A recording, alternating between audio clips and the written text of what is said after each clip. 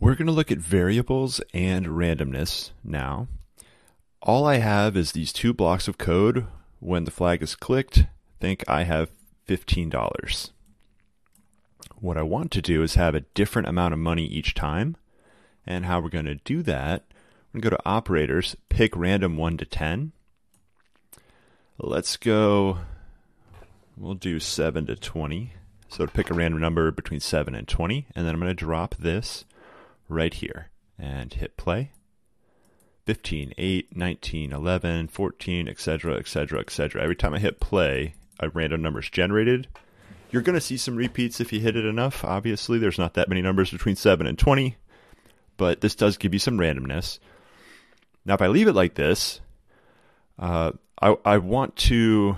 I did have a do have a random number picked, but I want to also say I have this many dollars. So we're going to need to put some text in here you can't just add another think because it will replace this one. So what we're going to do is what's called a join. And we're going to join I have, and then the random number. I'm going to place that in here and hit play. Now, so I have 19, I have 13, I have 17, I have 19, I have 20, etc., etc. I want to put a space and a dollar sign. That has to go here I can't put it on the second part because uh, you can't put text here. This is just a, this entire thing turns into one number, so you can't put a dollar sign or a space. So where I put that is at the end of this. I have space, dollar sign. Now it will display in, in a normal way. You could put a period at the end, but you're going to need another join. And let's go ahead and do that. Join So what's going first is what you already see on the screen, and at the end, actually, I like to put my dollar sign at the end because that's actually how we speak and all the other units we use. I'll go at the end. So now it's going to say I have the number and then a dollar sign. so it didn't say that because I didn't put this into the code. It just says I have 15 in the original. So let's drop that there. There we go. $14, $7, $12, $20, $10. All right. So that is two joins in a row. Uh, but we still have an issue because uh, what we're going to do is use this number and we're going to purchase items in the future and we have to save this value. And the way that we save value is with variables. So I'm going to make a variable here. I'm going to call it my money well, we'll just call it money. Now, this is important.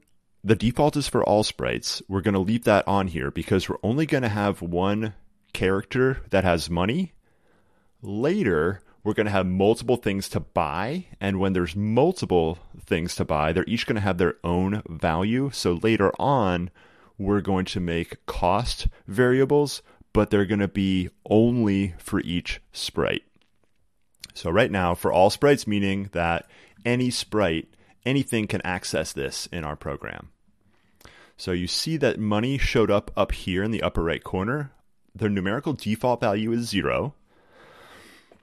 You can drag that over here, uh, but of course it doesn't do anything when it's just floating. So we're going to go back to, nope, we're right here, set money to. So we can set a value of money, set money to, now I don't want to use zero. I want to put the random value 7 to 20 right here. So this will set money to be a random value between 7 and 20. And of course, if I hit play, what you will see is the money value in the upper left says 20, says 16, 14, but of course it says I have banana. We don't want to have banana, we want to have that number 14 in place of banana. And the way we do that here is that value, we drop it right there. So now it's going to say I have a money, the number for money, and then the dollar sign.